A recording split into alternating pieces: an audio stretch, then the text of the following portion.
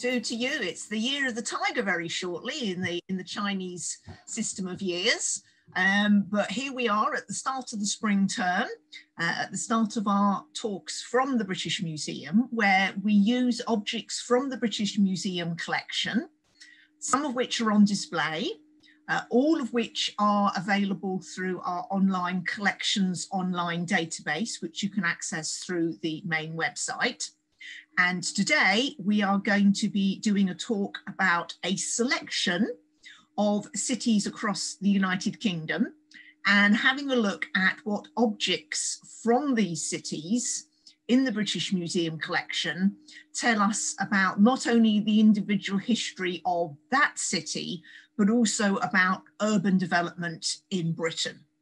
So to begin, I am just going to pull up my screen which means that we can start our PowerPoint for today.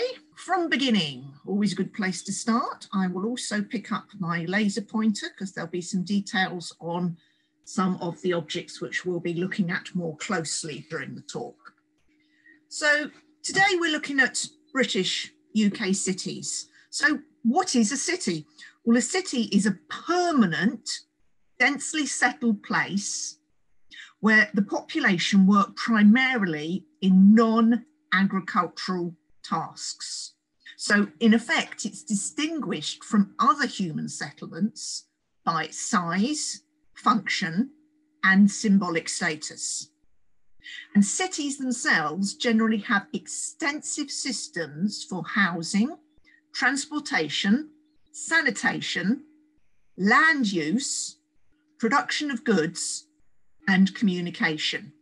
And some of those themes will pop up as we go through our talk today in reference to either a specific city or to a specific object. So by 2015, 69 places in the United Kingdom had been granted city status by letters patent or royal charter. And objects discovered via urban archaeology or objects collected by heritage experts give us an insight into how cities function and also specific historic moments in a city's history. And we are going to begin by going to the north of England and we are going to begin with the city of York. And here you can see on the screen some objects which come from the Roman period of York's history. Now, by the time Britain became part of the Roman Empire, the area around modern York was already home to an Iron Age tribe known as the Brigantes. The tribal area initially became a Roman client state, which meant that in effect, the Romans sought to uh, increase their sphere of influence by setting up political and often financial alliances with existing Iron Age leaders in England. But later, his, later hostilities between the Romans and the Brigantes saw the Ninth Legion sent into Brigante territory and in AD 71, the Ninth conquered the Briganti and built a wooden military fort on flat ground near the River Ouse. The fort itself covered 50 acres with a garrison of 6,000. The site of the fort headquarters lies under York Minster, and excavations in the undercroft of the Minster have revealed part of the Roman structure. So, in terms of York as a proto city settlement, we're really looking to the Roman period when we have the first permanent established buildings on the site of what we today would call the city of York. And we have here to the left a silver denarii coin, and this shows the Emperor Vitellius who was one of the emperors in AD 69. And on the other side of the coin, you can make out a bowl standing on a tripod with a dolphin and a raven, all symbols of the Roman god Apollo. Now, the coin that we have in our collection has a very worn back side. So I've popped underneath an image of another coin, the same coin, but with less wear, so that you can see the detail of the dolphin, the bowl standing on its three-legged tripod stand, and the raven just underneath. Now, the British Museum coin was minted in Rome, but excavated in York, demonstrating the circulation of Roman currency through military salaries and trade in early Roman Britain. And the emperors Hadrian, Septimus Severus, and Constantinius I all visited York and during his 2007 to 2011, sorry, his 207 to 211 stay, Septimus Severus proclaimed York capital of the province of Britannia Inferior and granted York the privileges of a colony or a city before he himself died in the city in early 211. And what we see here on the right hand side of the screen is a Roman roof tile from the city of York. And this tile, in common with many other terracotta roof tiles found in early Roman Britain, was made under the auspices of the Roman legions and is therefore stamped with the legion's insignia. And this particular tile if we look here at the depressed rectangular area, this is where the damp terracotta was stamped before being put out, usually on sand beds to dry before being fired. We see that it's been stamped with a Latin inscription referring to the Ninth Legion Hispania. So a legion, the Ninth Legion, with a reference to Hispania, the Roman province, which nowadays the country of Spain. And the Ninth Legion itself operated from the first century BC until at least AD 120. It was stationed in Britain following the Roman invasion in AD 43, but the legion disappears from surviving Roman records after AD 120. And the fate of the legion is the subject of considerable research and speculation. Our tile here shows us that the legion were garrisoned in what was by then um, an established Roman fort at York, and that they were producing tiles as part of the Roman constructions to build up the fort and surrounding settlements. Now, one theory was that the Legion was wiped out in action in northern Britain soon after 108. And this is the date of an inscribed stone tablet from the rebuilding of York Fort in stone. So again, we have a piece of material culture which links the Legion to the city of York, this time with a date of 108. Inscriptions for the ninth were later found on a legionary base in the Netherlands, suggesting that they were based there from 120, leading to suggestions that they were destroyed not in Britain when they were stationed in northern England, but during the second century.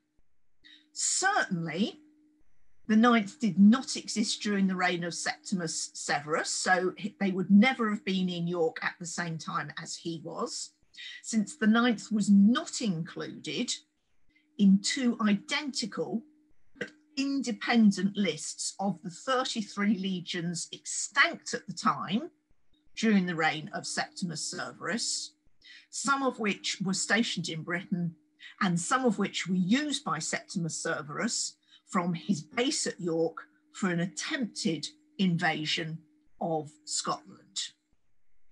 So sticking with York, let's move forward from the Roman period and have a think about one of the next major and indeed famous stages in the city's history that we have evidence for here at the British Museum. So what we're looking at here are objects from the Anglo-Saxon and Viking period of the city's history. Now, the city of York was settled by the Angles in the 400s, and by the 600s, it had become part of the Kingdom of Northumbria. Now, in 875, Danish Vikings raided and took control of York. York, of course, as we know, being on the east side of England, so providing easy access to the city across the maritime routes, across the North Sea from Denmark. And the city, now known by its Viking name of Jorvik, developed as a major river port and indeed became the capital of Viking territory in Britain with more than 10,000 inhabitants at its peak. Danes migrated to the region and settled, and there's archaeological evidence from this time of textile production, metalwork, carving, glasswork, and jewelry making.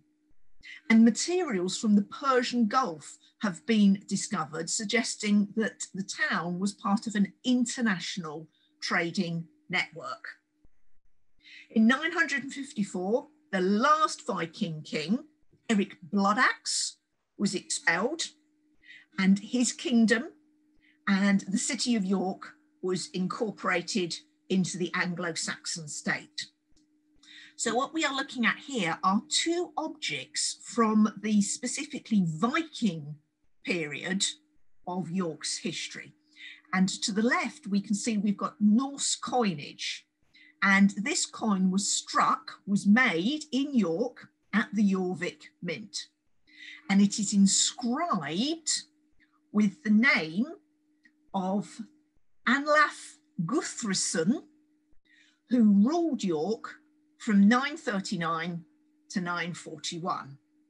And it also includes the regal title which at this point is not the title Rex, which the Anglo-Saxon kings were using coming from the Roman, the Latin, but came from the old Norwegian Konungur, meaning military leader. So sort of a cross uh, between a king and a military leader, I suppose nowadays we'd say a warlord. And this particular coin has a raven with outstretched wings. And this is a Viking symbol linked to the god Odin, who had two ravens who sat on either arm of his throne. And he was said to send them out every morning to fly around the world and bring him back all the latest news. The symbol of the raven, which we saw previously as a Roman symbol for the god Apollo, by this time had also become the symbol of St. Oswald, Northumbrian royal saint. And coins during this period are not stamped with a value since they were made of precious metal, this one silver, and it would be weighed to check its worth. So it was the weight of the silver in the coin which gave it its worth, uh, and indeed which led to coins often being clipped small pieces being removed from a number of coins. Uh, and if those small pieces were melted down, you could then make yourself a brand new free silver coin. And you'll see that coins were starting to include designs such as these dots around the edge, which made it more difficult for them to be clipped because it was easy to see where pieces had been taken out. Coins at this period are still not standard not as circular as our lovely modern coins, which are stamped out of sheets of metal, because these coins were struck. So a piece, a disc of metal was put between two dies. This was then struck with a hammer so that the design was squished, was stamped into the disc, and the disc was slightly distorted in shape by this process. So ancient coins are never completely circular. So small pieces missing could just be damage from when it was struck. Um, if it's clipped, you're likely to have a larger piece missing, which actually goes into the design itself. On the other side of the screen, we've got an antler comb.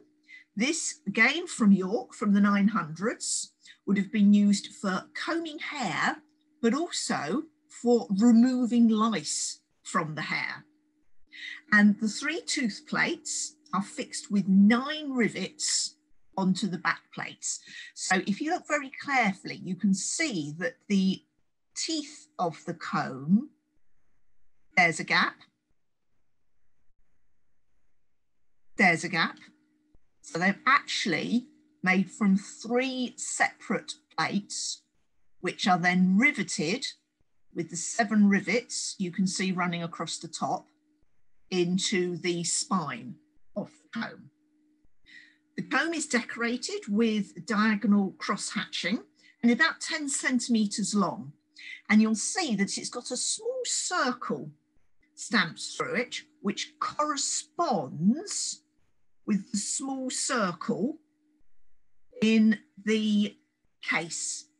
And in effect, the comb would be lowered into the case, which has a slot, which we can't see because we're looking at the side of the case. And then the two line, the two holes would line up so that it could be pegged into place and didn't fall out of the case because small combs like this were often worn by the owner. So the comb case protected the comb teeth from snagging on the owner's clothes and snapping off. So we're going to move now from Northern England eh, across to the modern country of Northern Ireland, one of the nations in the modern United Kingdom, and we're going to talk about the city of Belfast. And we have on the screen a number of hand axes which have been found on the site of the modern city of Belfast. Now this site has been occupied since the British Bronze Age. And the Giant's Ring is a 5,000 year old henge which stands near the city. And there are also Iron Age forts in the hills surrounding Belfast. And the settlement itself, the city that we now call Belfast, was actually based around a marshy ford where two rivers met. Now, the axes that we can see on the screen here, which give us evidence of settlement in the area of Belfast from prehistoric times, are three polished stone axes. One we have on the far left, you can see has slight damage to the tip of the stone. Uh, the one next to it has damage at the base and also at the tip. And then the one on the far right is actually a polished stone chisel, which has part of the butt missing. And all of these date to the British Neolithic Bronze Age. They're quite varied in size. Um, I've put them up so that you can get a good look at them. But if you had them on the desk in front of you, you would have one which was 10 centimetres in length. This one, 22 centimetres and the little chisel is eight centimeters long. Stone axes were made by polishing and grinding their surfaces with sand and water. And it took a lot of time, effort and skill to make them. Stone axes were in use in Ireland from the Mesolithic period until well into the Bronze Age. And most axes were small and fitted with a wooden handle ready for their primary use, which was cutting wood. Now, these axes, these polished hand axes, would not have been used in this way. Although there are signs of damage, there is no sign of them having been used for everyday work. And it's suggested that their value lay not in their function as a tool, but in how they looked and their role as symbolically valued objects to the people of the past. And if you look at them, you can see that the time spent polishing each of these objects, and indeed the selection of the original material, which quite often would have been traded in to prehistoric Britain from areas of continental Europe, the stone itself is selected to reveal colours and patterns, which then become part of its intrinsic symbolic value. So Belfast, we see human activity in the area in prehistoric times. Let's go forward and let's arrive at Belfast in the 1700s. And by this point, Belfast is a thriving merchant town. The town is importing goods from Britain and exporting linen products, not only to other parts of Britain, but also across to America. And it was actually granted city status by Queen Victoria in 1888. And what we have here on screen are some objects which tell us about the thriving economic economy in Belfast in the 1700s through to the early 1800s.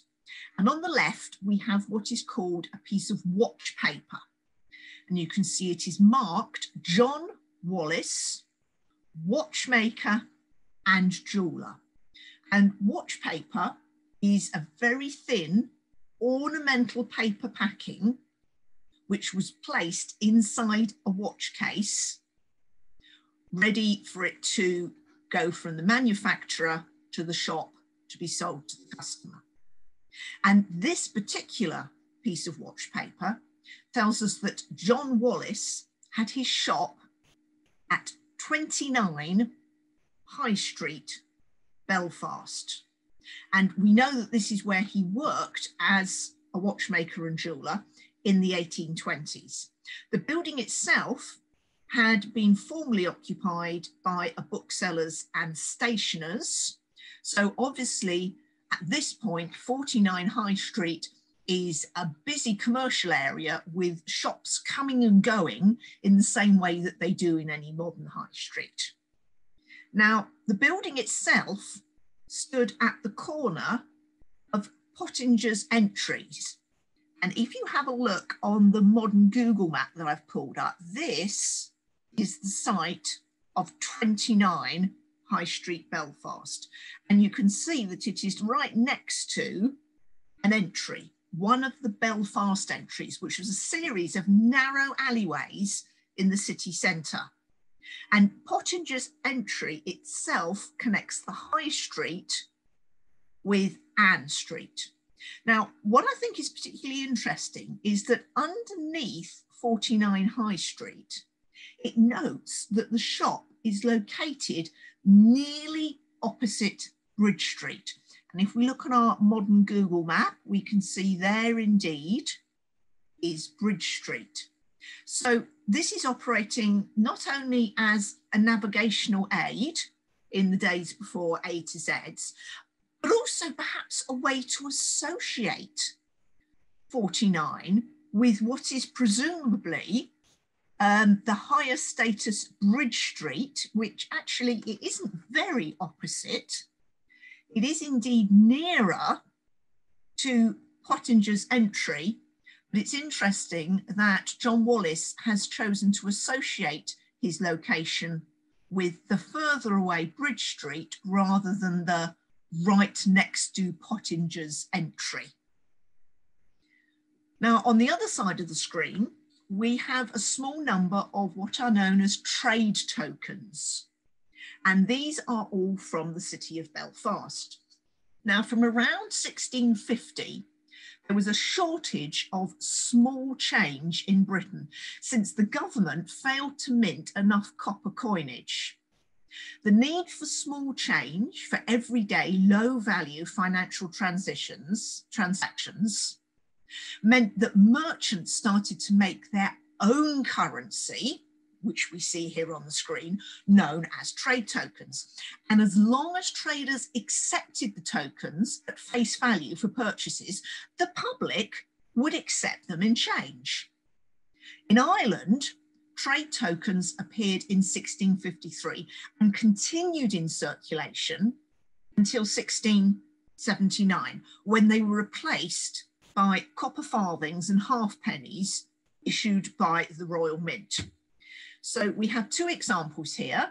At the top, we have the back and front of a copper alloy penny token issued by William Smith, a merchant or tradesman in Belfast. So on the front, we can see it is marked with his name, William Smith, his initials WS, and then on the back, as you would with any coin of the realm, you have the date in which this token has been struck, 1657, and the town, as it was at that point, in which it has been struck. Use of these tokens is very localized. The tokens would have been struck, um, paid for by William Smith, for use by customers in his shop and probably would also have been acceptable in a number of local premises where there would have been an implicit agreement that to aid trade, these small tokens were acting as replacement half pennies and pennies in the local economy. One underneath is one issued by John Stewart. We can just make out his name running around the edge. John Stewart. We also have a date, again, 1657, and we have his initials. Now, of course, J is often interchangeable at this point with the letter I. Uh, this is left over from the use of Latin, where the sound J is represented by what we would recognize as the letter I. So JSIS, J, John Stewart. And then on the other side, we have Belfast, but also the Belfast coat of arms. And this coat of arms dates to 1613, when James I granted Belfast town status.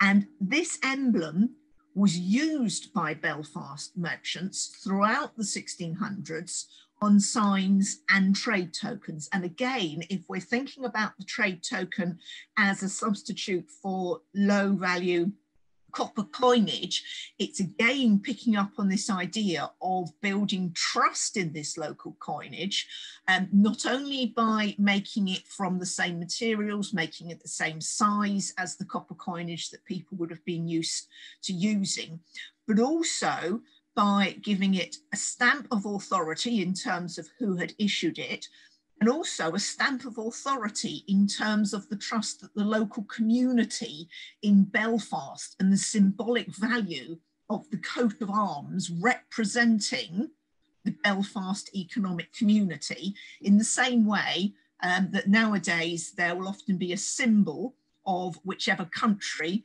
issues coinage on the back of the coin with the name of the producer, or in our case, um, a portrait of the Queen on the front of the coin to give that coinage legitimacy. And we'll come across some more trade tokens later on in our talk. But we're going to move now from Belfast to Edinburgh. And we're going to find out about the Royal Borough of Edinburgh, which was itself founded by King David I around 1125 on land in Scotland belonging to the Crown. James III, the Scottish king from 1451 to 1488, referred to it specifically as the principal borough of our kingdom. So, acting at that point as a nascent capital city for the Kingdom of Scotland. Now, to the north of the city lay Nor Loch, which was a natural depression in the landscape flooded by James III in 1460. And it was flooded to defend the city to the north. And if we look at this bird's eye view of the city of Edinburgh, which was printed around 1574 to 1594, we can see to the north of the city the flooded area of land defending the northern part of the city. We can see that the city is defended to the west by its castle, which stands on a rocky outcrop. And then following the Scots' defeat at the Battle of Flodden in 1513, the Flodden Wall, which we can follow here on this bird's eye view around the outskirts of the city, was built to the south and the east, and that consolidated earlier wall defences. Now, work on this city, which you can follow with your eye running across the south and then straight up to the north to the edge of the loch. Work on it lasted from 1514 to 1560. And we know from the records that the cost of building this wall was four pounds, 10 shillings per Scottish rood. And a Scottish rood was the equivalent of five and a half meters. So every five and a half meters of this wall would cost you just over four Scottish pounds at the time. And then if you wanted battlements added to the wall, that was an extra 40 shillings per rood. And today, four separate sections of the Flodden Wall survive. Now, we can see that over time, the city expanded beyond these medieval walls. And below, we have a tourist map from the British Museum. It's showing us Edinburgh, and this was issued in 1935. And we can see here, if we line up the castle, which we see here in the top map, and here in the bottom map, we can see the extent to which the original city, which sat to the east of the castle, has now extended north into the Georgian new town, set out with its straight lines, rather like Milton Keynes.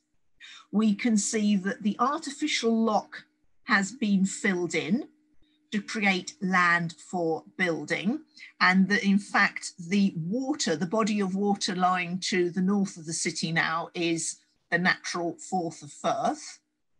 We can also see that coming south of the city in the medieval, to our mind, late Tudor map, we can see that there is a small amount of settlement just south of the city. By 1935, this had extended down into an area of the city now known as St. Thomas's. And indeed, the city has spread out beyond the castle to the west and spreading out beyond the original city further to the east, so that Edinburgh nowadays is often spoken of as a conurbation drawing in the settlement of Leith. So looking at two maps from two different periods of a city's development allows us to actually plot which areas of a city developed when. And from an archaeologist's point of view, this is often known as an exercise in map regression, whereby you start with the most modern map that you have of an area and then track back to the very earliest map you have. At each stage, the map's demonstrating where development has occurred or where indeed sometimes part of a settlement has been lost. If we continue to think about Edinburgh, we know that an important point for the city of Edinburgh and indeed the nation of Scotland occurred during the reign of what to us is King James I, the Scottish king, King James VI, who was born on the 19th of June 1566 to Queen Mary Mary, Queen of Scots, and Henry Stuart, Lord Darnley. Following his birth, internal power struggles meant that Mary, Queen of Scots, was forced to abdicate the throne in favour of her one year old son. And the following year, he was crowned King James VI of Scots at Stirling Castle. James VI became known outside Scotland as King James I when he inherited the throne of Elizabeth I in 1603 reigning until 1625. And what's interesting is that because of this change in numbering, uh, which, as you can imagine, um, does not recognize, did not recognize at the time the other King Jameses who had ruled in Scotland and indeed rather overlooked the 36 years that James had already ruled as a king in Scotland before he travelled down to London to be crowned king for England, Wales, and Ireland. Um, this means that it's been decided that if there is another King James, uh, which won't be for quite a while, will it? would you, let's say Prince George decided to call um, his eldest child James, um, the next King James uh, would be King James the Eighth, uh, because obviously we had a James the Second, who was the Scottish James the Seventh. So the next James will be known as King James the Eighth. What we have here, however, is King James Sixth, stroke King James First. And here we see him on a gold coin struck in Edinburgh, wearing instead of a crown, a tall, fashionable hat from the period with a feather and a small thistle to the right. And the coin is struck with James Sixth, by the grace of God, King of Scots.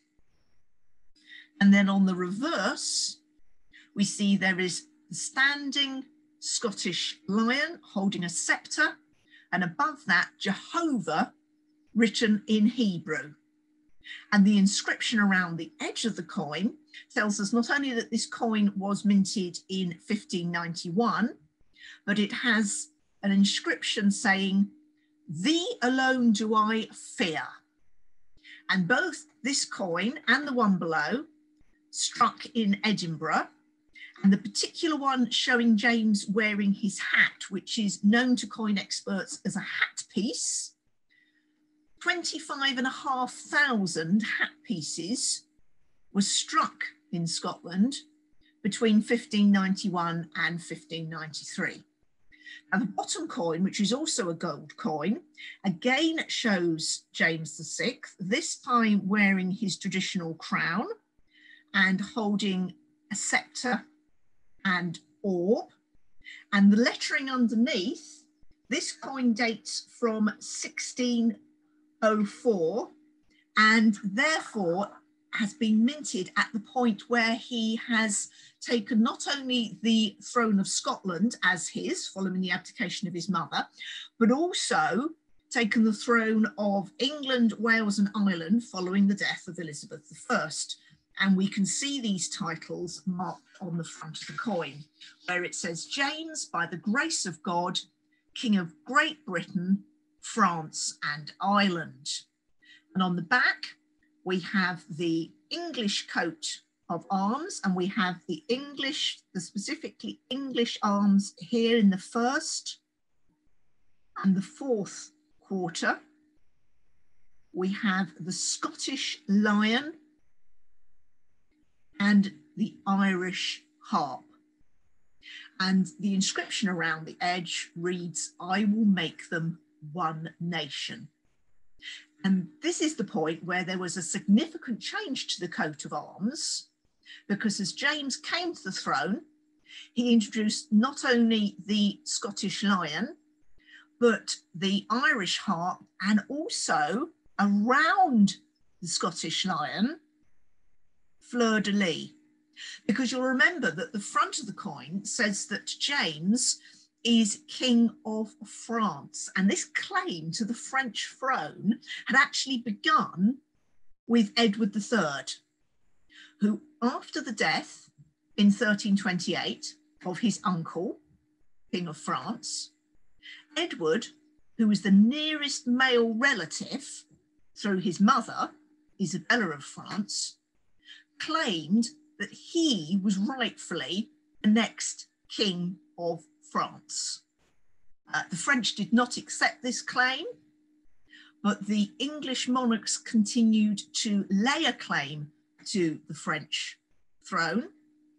And in 1800, the Act of Union, which joined the Kingdom of Great Britain with the Kingdom of Ireland to create the United Kingdom, saw a continuation of this claim to the French throne. In fact, it wasn't until the French Revolution that it was fully acknowledged that with no French throne in place, there could be no claim to a French throne. And it was George III who dropped his claim to the now defunct French throne. And at this point, the fleur de lis were removed from the British royal arms. So if you look at the royal arms nowadays, you'll see that Queen Elizabeth uh, is no longer claiming to be Queen of France, which is, of course, now a republic with no monarch. We're going to move a bit further south, and we are now going to move down to Sheffield. Sheffield, city in northern, lower northern England, derives its name from the river Sheaf, which runs through the city. And the second part of the name, the field, refers to a field or a clearing. And it's thought that the name comes from an Anglo Saxon settlement in a clearing where the River Don and the River Sheaf meet. And in Anglo Saxon times, this small settlement sat on the border between the kingdoms of Mercia and Northumbria. And what we have here on screen are details of a single Anglo-Saxon cross, cross shaft dating from the early 1800s. And this is actually on display in room 41 at the British Museum. You can see here the front of the cross shaft. Its correct orientation would have been standing. The cross, which would have been on top of the shaft, is now missing. It was decorated on both sides. And when I was in the museum the other day, I took a photograph of the back of the cross, which has been hollowed out and forms part of the biography of this particular object. So the cross itself is carved from sandstone and it probably dates to the early 800s. It's one and a half meters tall, although it would have been taller with the cross which originally stood on top. And indeed, the whole cross may originally have been painted. Now, on the main front facing part of the cross, which you can see I've put sideways at the top so you can look at the image in greater detail, we see an archer kneeling by a vine bearing fruit with vine scroll decoration then running down, as we can see in this illustration, on the two sides of the cross. Now the back of the cross is missing because a trough was cut into the cross in the 1500s. Now we know that going back to its Anglo-Saxon history, decorated freestanding stone crosses played an important role in the Anglo-Saxon Christian cross. And the vine scrolling, which we see decorating this cross, symbolized Christ as the true vine, taken from the Gospel of John. And the hunting archer on the front is probably intended as an image of the divine word seeking its target amongst the congregation. The style of the cross itself is Mercian, and it's the most northerly example of this type of cross. And you remember I said that the site of Sheffield at that point stood on boundary between the kingdoms of Mercia and Northumbria. And this cross very closely resembles other examples from Bakewell and Eyam in Derbyshire. And it's been suggested that it is one created by a single craftsperson from Mercia who carved all three crosses, this one being the most northerly surviving example of their work. In the 1500s, the cross shaft was removed from St. Peter's and St. Paul's Church, which is now Sheffield Cathedral, and it was recorded as having been demolished in 1570, which gives it a demolition date from the English Reformation, when what was seen as overtly Catholic iconography were being removed from church sites across England. At this point, having been taken down as a Christian object, it changed function because the back of it was hollowed out, as we can see here when we stand behind it in the gallery, to serve as a quenching trough in a Sheffield cutler's workshop. So the front face would have been hidden, probably what has partly protected it because it would have been lying on the ground. And the trough at the back, we have lost the back panel and the internal part of the cross, and this would have been filled with water, looking rather like what nowadays we might see as a modern cattle trough. And this change of function is a stepping stone between two parts of Sheffield's history. And as we go into our break, I'm going to leave you with the second set of objects from Sheffield's history. I'm going to tell you we're going forward a few hundred years. And I'm going to tell you that what we have on screen at this point are a couple of mystery objects. So during our 10 minute break, do have a little look at these objects and see if you can work out what they are. They are both in the British Museum collection.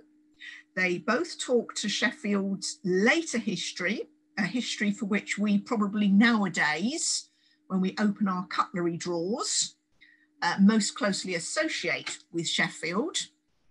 And I will tell you what these objects are and then we'll continue with our exploration of some more British cities. Enjoy your 10 minute break. Hello, welcome back indeed. So we've had a couple of suggestions over the break about what these objects might be. Uh, so, so let's begin by giving ourselves a bit of context. So we've just been talking about Anglo-Saxon Sheffield, and as we go forward into medieval times, uh, a market was established in Sheffield and it soon grew into a small market town. And by the 1300s, it was noted for the production of knives, which were specifically mentioned in Geoffrey Chaucer's The Canterbury Tales. And then by the early 1600s, it had become the main centre of cutlery manufacture outside London. And then during the 1740s, a crucible steel process was discovered that allowed the manufacture of a better quality of steel. And this occurred around the same time that a technique was developed for fusing a thin sheet of silver onto a copper ingot to produce silver plating. And this became known as Sheffield plate. 1800s saw a huge expansion of traditional cutlery trade, fueling an almost tenfold increase in the population of Sheffield during this time. And it then became the city of Sheffield in 1893. So what we're looking at here are two objects from this Georgian Victorian part of Sheffield's industrial history. The object at the top, someone suggested it had something to do with screws, and it does indeed. It is known as a screw plate, and it's a metal plate with a handle, with graduated threading holes for making screw thread by forcing a rod through the threaded hole.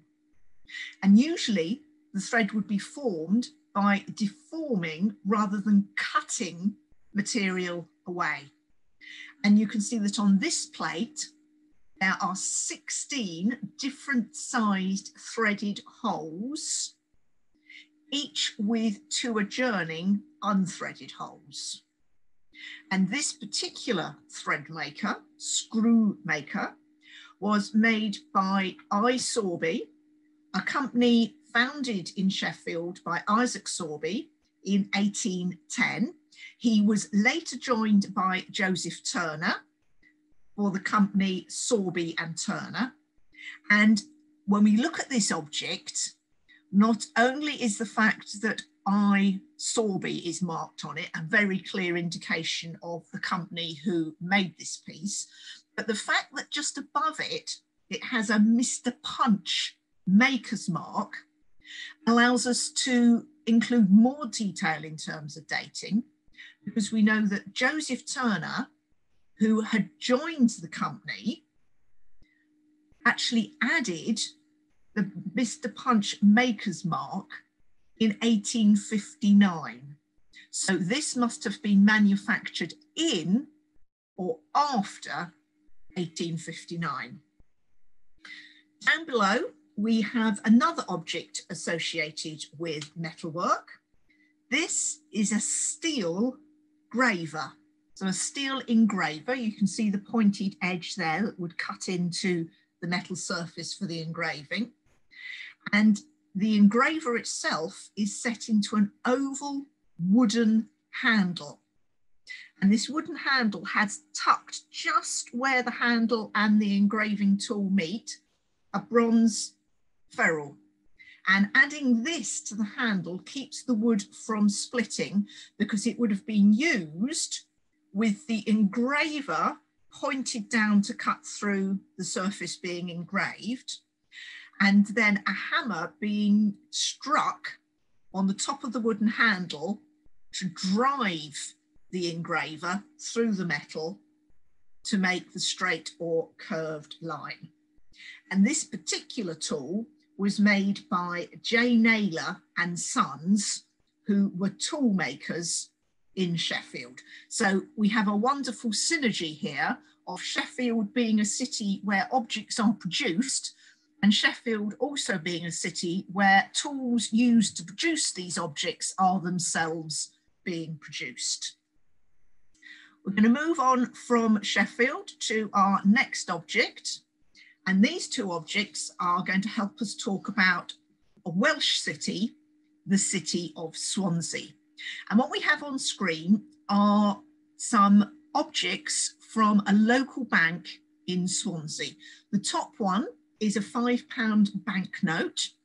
And um, not only is this object housed in the British Museum, uh, but as you will often find in these talks, uh, the British Museum managed to get it, manages to get itself into most historical stories because this particular banknote was designed, and we can see it's got a little image on it here, designed by Robert Smirke. And he was the father of the Robert Smirke, who was the architect of the current Victorian buildings at the British Museum. Now, this particular banknote was issued by Neath and Eatons, who were founders of the Glamorganshire Old Bank. And it is, oh, sorry, it's not a five pound note, it's a one pound note issued by the Swansea Old Bank, part of the Glamorganshire Old Bank. And then below it, we've got an unused cheque issued by the Glamorganshire Bank Company in 1890. And this was made by Waterlow and Sons, who were a printing firm on London Wall in London for use by customers in South Wales of the Glamorganshire Banking Company. Now, what we're looking at here are a couple of objects which come from old banking companies, no longer extant, which are known in historic economic histories as local banks. Now, the role of a local bank was to function as a commercial bank for the local community. And a local bank in Georgian and early Victorian times would accept deposits, make loans, and issue lines of credit. Until the 1850s, these commercial banks were allowed to issue their own banknotes, one that we see at the top here. And these commercial banknotes only traded at face value in the market served by the issuing bank. So they're rather like the trade tokens that we saw earlier. They were an agreed form of currency that operated within a limited geographical area. And the value of note the note was based on the cash holdings and confidence in the issuing bank. They were later replaced by national banknotes, the ones we use today, issued by central banks or monetary authorities. Now, the Glamorganshire Banking Company, which we see noted here on the unused cheque, was a joint stock bank which was formed in 1836 from an amalgamation of several other private Swansea banks.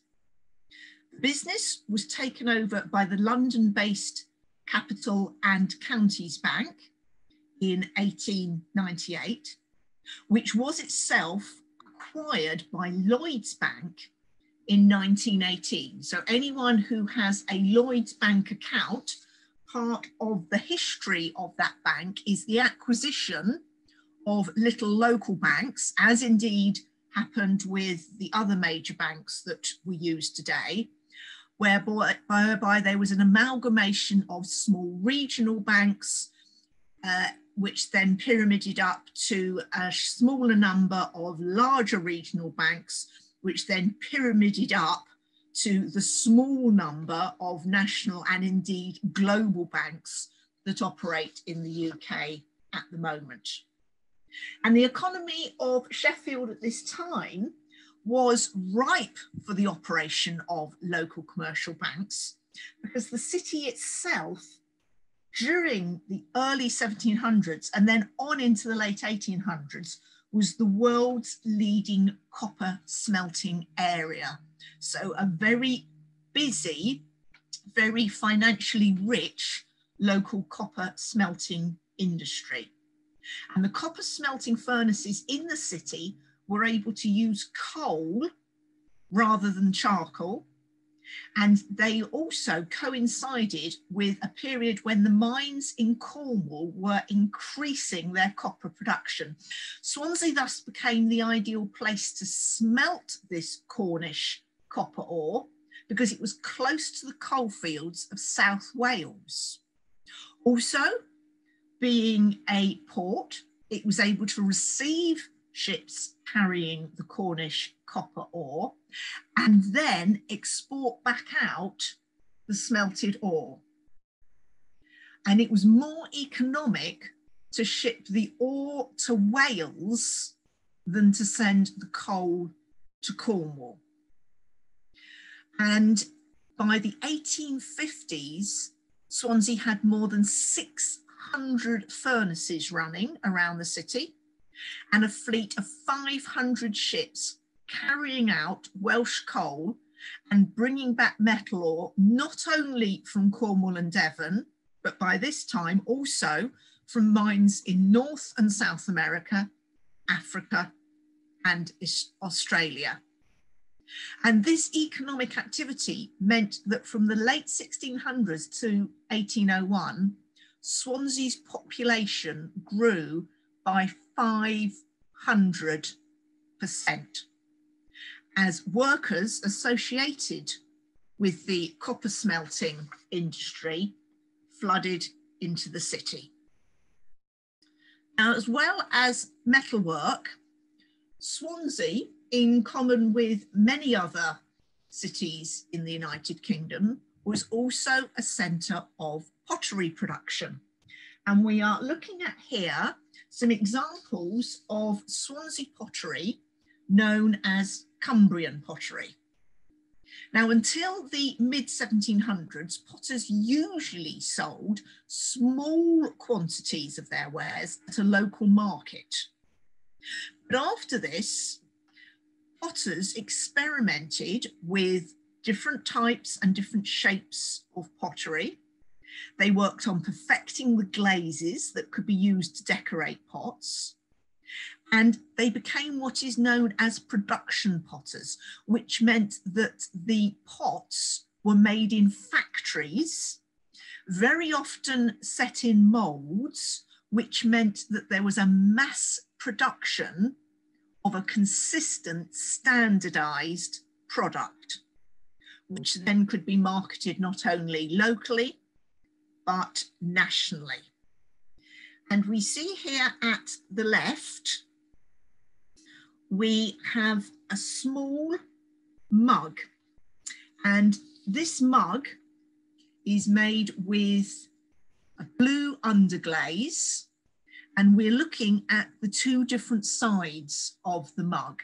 It dates from 1795. And we've already mentioned something that happened around this time, the French Revolution. And this mug is a little insight for us into attitudes towards the French Revolution and also towards the continued monarchy in Britain at this time.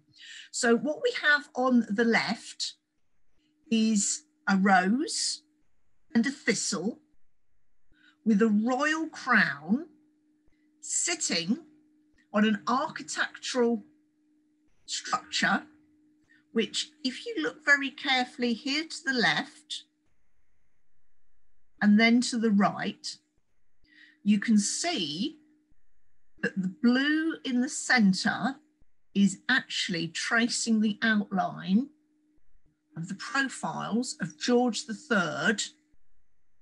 Here he is, there's his nose, and Queen Charlotte. On the other side of the mug, we have a tangled root system, which is formed from two snakes attacking a fleur-de-lis.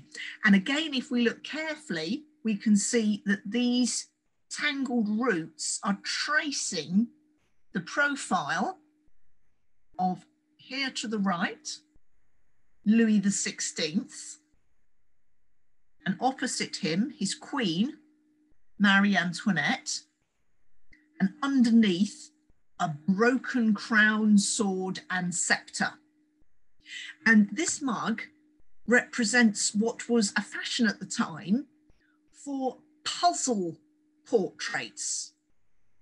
And the design itself copies a puzzle portrait published in January 17 94 by the printer Daniel Orme. And this was then picked up by the potteries of Swansea and transferred onto a mug so that in your house in Georgian times, you could remind yourself of the stability of the monarchy in England, Scotland, and Wales, and the instability, indeed the end of monastic, of uh, the monarchy in France following the unrest of the French Revolution. Next to it, we have a small flower vase. Now, this particular piece dates from quite early on in the pottery's history. It comes from 1806 and it represents a development of the early blue glazed ware, which we saw when we were looking at the mug. Because obviously, the more highly decorative your wares are, the more appealing they are to the consumer. the more appealing your wares are to the consumer, the more you are going to sell and the more sustainable and wealthy your business becomes. So around 1800, they took on at the pottery the well-known uh, well-known botanical artist William Weston Young and used him to design flora and fauna designs for their pottery ware, hoping to take on the interest in the fashionable ware that was at that time being produced by Josiah Wedgwood in Staffordshire. So they could see a nascent market developing around the Wedgwood ware in Staffordshire and decided they'd uh, have a bit of that themselves for their wares in Swansea. And we know that this particular piece, made in Swansea, was then sold in London, so would have been transported up to London in the hopes of reaching a wider, more affluent market. And it was sold in the Cambrian warehouse sale on the 23rd of April, 1808. And then went through a number of domestic holdings until it arrived back at the British Museum as a museum object. Below, we see one of those trade tokens that we referred to earlier. And here we see an example of a trade token that has been issued in Swansea. And around the late 1700s, there was another shortage in copper being issued by the Royal Mint. And in increasingly industrialized towns and cities, there was a high need for low value copper coins, not only for paying wages, but also for the workers to then use in local shops. So again, as a way to fill in this gap in the currency, local firms would start to issue local tokens. And this one issued in Swansea and South Wales in 1813 was actually issued by the Cambrian Pottery as part of the wages paid to their workers. And their workers would then have been able to use this at the value of a penny in local shops in Swansea. And the shortage of small change was felt throughout the North, the Midlands, and South Wales. Uh, eventually, these copper tokens were made illegal by the Royal Mint, who increased their production of small copper coins. But tokens continued to circulate in South Wales all the way through to the 1817s. We're now going to move from Swansea to Exeter. And we see here another lovely map. And this map comes from the same set of maps that we saw when we were looking at Edinburgh, issued between 1574 and 1594. And it shows us Exeter, a city in Devon situated on the River Exe. And it gives us a bird's eye view of the city. We have the river in the foreground, uh, with a road leading up to the city's west gate. The orientation of this map is not aligned to true north. I've popped in next to it a modern map of the city, which is aligned north. And you can see here the river. And you can see here where that road comes in to the west of the city through one of the city gates to the modern city of Exeter which over time, as we saw with Edinburgh, has expanded beyond the city walls. There's the castle, which we can see in the right hand map, nestled against the city wall, and which we see, sorry, in the left hand map, nestled against the city wall, and which we can see in the modern map actually has an area of settlement extending now across to the east all the way to the M5. And we can also see that the small, tiny settlement just outside the city gates has, by the 20th century, extended all the way along the river frontage and all the way back down the roads leading out of the city towards the west. Now, this city view also shows us St Thomas's Church, and then we also see in the centre of the city Exeter Cathedral, which is properly known as the Cathedral Church of St Peter's in Exeter. And the building that we see in this map and also in the present day was completed around 1400. The castle was built in the northern corner of the Roman city walls and the walls themselves were rebuilt and extended in the early medieval period following Exeter's rebellion against William the Conqueror.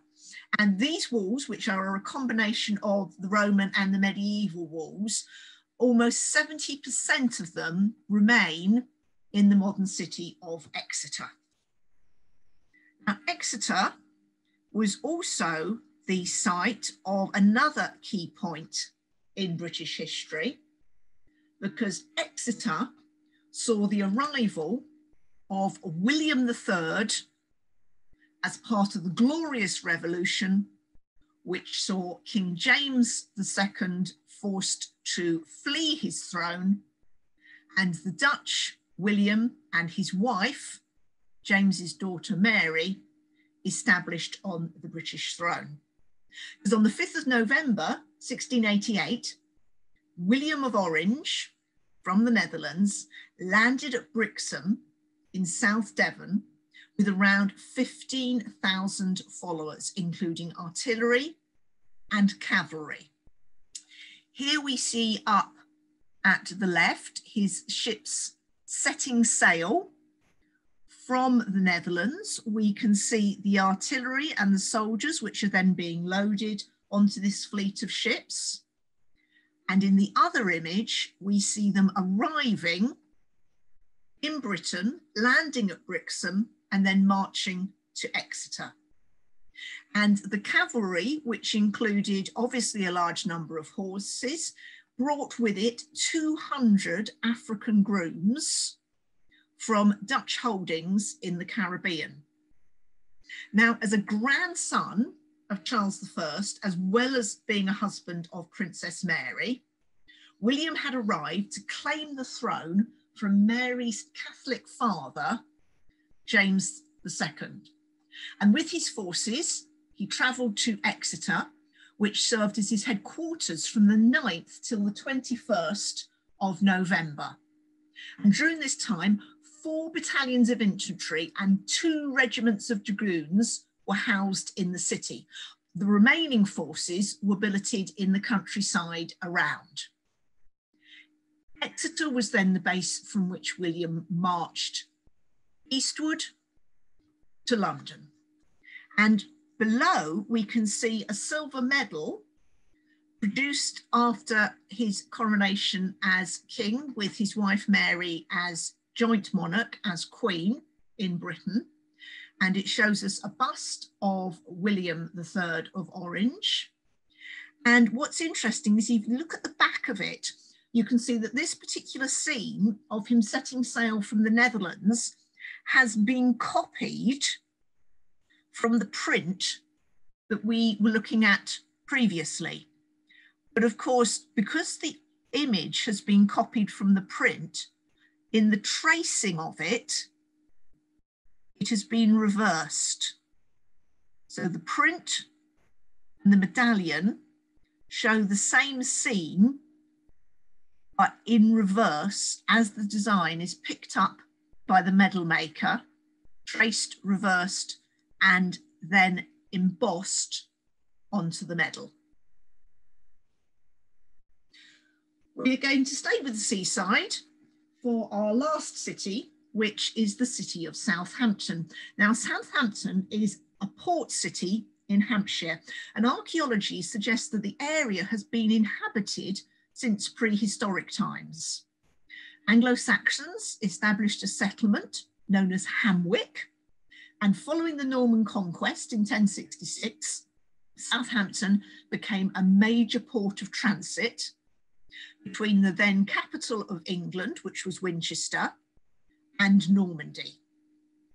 And the town expanded rapidly in Vic the Victorian era, and the first dock was opened in Victorian times in 1842. And what we have here in the centre is a photograph from the British Museum collections, which was taken at Debenham Smith Photography Studio, 1 Sussex Place, Southampton. And it shows us a young gentleman called Thomas William Edge Partington with his father, James. And it marks the occasion where young Thomas had arrived in Northampton, uh, sorry, in Southampton to join the British Navy as a cadet. And his father, James, was an anthropologist who had a particular interest in collecting objects from the Pacific. And we actually have a photograph of his father showing him at the British Museum, where he worked as a volunteer curator looking at objects which had been collected by the museum from the Pacific and in particular from the Solomon Isles and from New Zealand. Now, young Thomas did not spend very long. He joined the Royal Navy in the, on the 15th of July, 1899, but was discharged only four years later in 1903 after failing navigation for the third time. He then joined the British Colonial Services, where he served in the Solomon Isles, picking up on his father's interest in the material culture of that part of the world. And the box of photographs in which we see him as a young naval cadet also includes photographs of him later in life in the Solomon Isles with his wife Mary, where alongside his work for the colonial services, he also continued his father's development of a large private collection of Pacific artifacts and books, many of which now form part of the British Museum collection. Now, Southampton, as a key port on the southern coast of England, acted as a point of part troop embarkation in the Crimean and the Boer War. And it was also designated number one military embarkation port during World War I, due to its deep water docks, which were able to handle large numbers of ships. And our last two images, the one on the right from the British Museum collection, the one on the left, a painting held in Southampton City Art Gallery, were both taken during World War One. They were created by Richard Wynne Nevinson, who originally served as a Red Cross ambulance driver during the war, was invalided out, in, out and was later appointed an official war artist. Now, he passed through Southampton on his way to France, and it was probably at this point that he created and collected sketches for this painting, which shows timber being loaded at Southampton docks to be sent out to the trenches in France and in Belgium. The painting was itself exhibited in September 1916 and served as the basis for the BM print. And again, you can see in the printmaking process, the image has been reversed. And this shows the influence of futurism and cubism with its emphasis on geometric shapes and patterns. This shows the Southampton during the war during 1916. It continued as a key point for not only the transport of goods, but also the transport of troops throughout the war. And then finally, in the 13th of January 1919, Southampton was the site of a mutiny by around 5,000 soldiers who were being taken through the docks, at which point they took over the docks, refused to obey any further orders. Upon finding out that they had been misinformed, they thought they were being transported to Southampton to be demobilized. And in fact, when they arrived in the port, they were informed that they were to board troop ships for France, where the British Army retained a presence after the 11th of November 1918. They mutinied at the prospects of being sent back to the battlefields, but the mutiny was itself brought to an end without bloodshed. I hope you've enjoyed our little journey through some of the British cities held in the British Museum collections. And if anyone has any questions they would like to ask, um, please do. We have a few minutes before the end end of our talk. If anyone would like to ask a question or indeed make any comments about British cities and objects. Thank you. Thank you, Katharine. That was fantastic. What I'll do coming out of the end of that talk um, is to say, obviously, we've only been able to touch on a number of cities from the United Kingdom. Um, if you have a city that you are particularly interested in, uh, then do go onto the British Museum website and you'll see that there is a part of the website called Collection Online. And this is a database of over 5,000 objects from the British Museum collections with an image and supporting information. It's got a very easy search box. Um, if you pop in the name of a city you're interested in, it will then pull up all the objects that we have in our collections associated with that city. A little tip is that that association um, can be quite tangential. So it's also a good idea to also go down to the places box and just double click that it's the city in England, Wales, Scotland or Ireland, um, because it might pick up a tag based on where the object um, was originally collected from, or it may pick up a tag based on the name of the collector who had collected that object from the museum um, or it may even pick up a tag from where that object has been displayed on a touring exhibition. Um, but there are some wonderful objects dating back from prehistoric periods all the way through to modern times that give you a little insight into specific points of a city's historic journey and its growth and development and really remind us the cities that we recognize nowadays usually have incredibly long histories.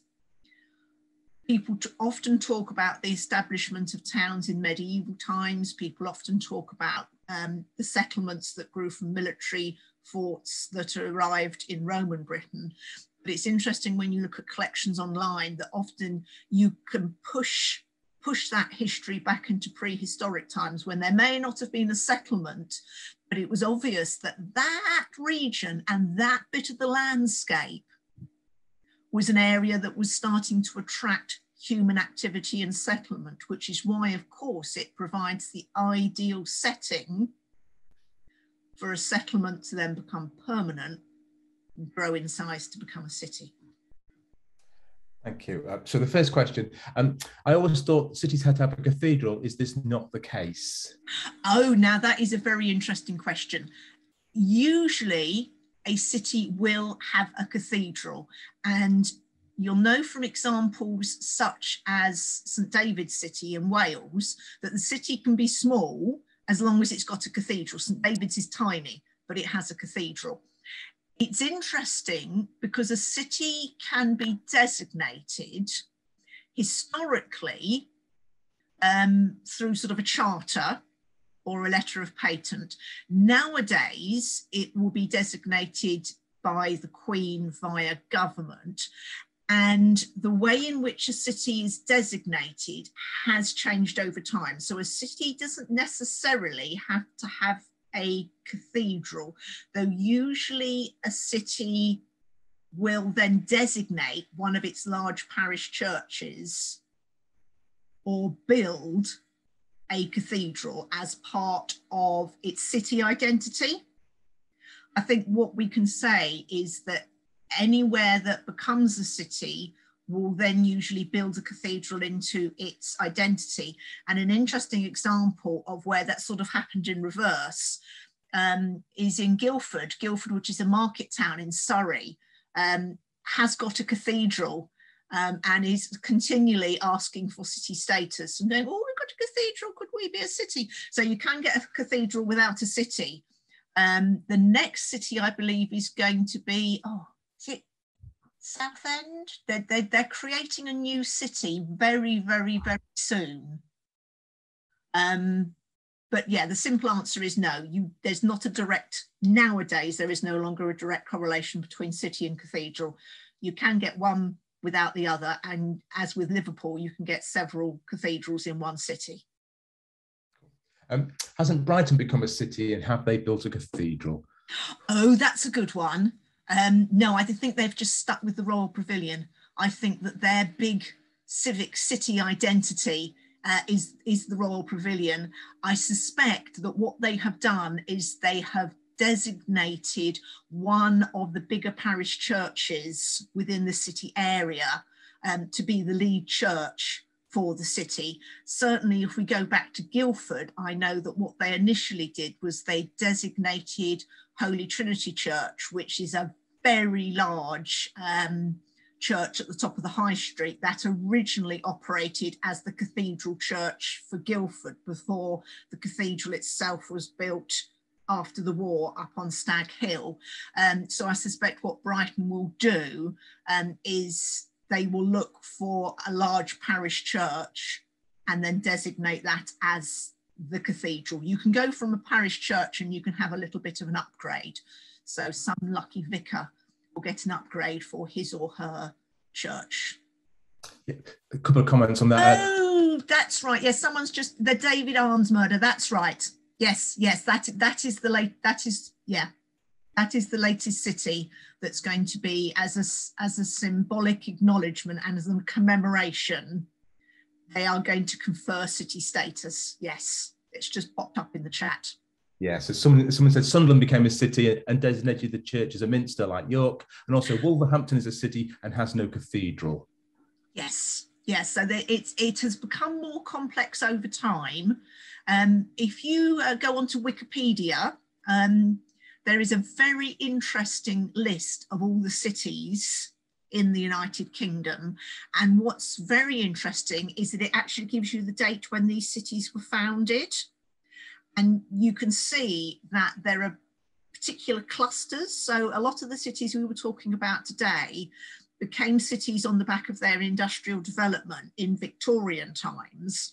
Um, you then get earlier cities which were created as York was. It was a city under the Romans. Now, that wouldn't necessarily be a city in the sense um, that an industrial Victorian city would be seen as a city. So the understanding of what is a city does change over time. And we, of course, are sitting in a post industrial society where we equate cities with being large and densely populated, which they always were relatively.